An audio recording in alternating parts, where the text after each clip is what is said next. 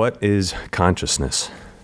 Any experience, any hearing, seeing, dreaming, desiring, wanting, uh, tripping, those are all different experiences. The way it feels like to be, you know, in love or to be angry or to see something.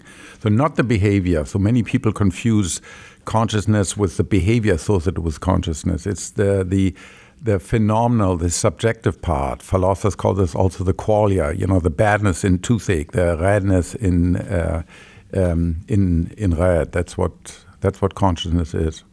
And, and self consciousness, by the way, because many people think, oh, consciousness, you, wait, you really mean self consciousness. No, self consciousness, which is very dominant in adults, it's not really present in young children or babies. That's a subset of all conscious experiences. You know, I know I'm a man, I know what I had for breakfast, I know I'm going to die one day, all of that.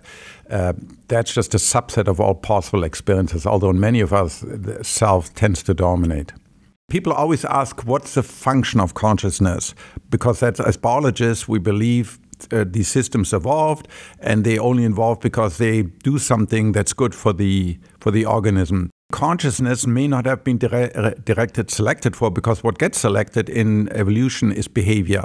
If you behave right you leave a lot of progenitors behind you. Um, if you behave wrong you're going to die and you're not going to have any um, any children right? And so it's behavior that's probably that's important for for for evolution not consciousness. Now interesting if you look at electric charge no one in physics asks well what's the function of electric charge it just we find ourselves in a universe where things have positive charge and negative charge.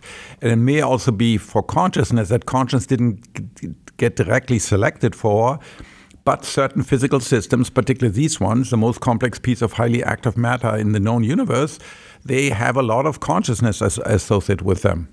But now we have human ingenuity that creates things like brain organoids, right? Will organoids be conscious? And then, of course, a big looming question is what about large language models or robots? But we need a theory because if we just go on our intuition, then your intuition may be very different from my intuition. Functionalism would say if one is conscious and the other one does the same function as the one that's conscious, well, the other one will be conscious too. IIT would say no, they're quite different.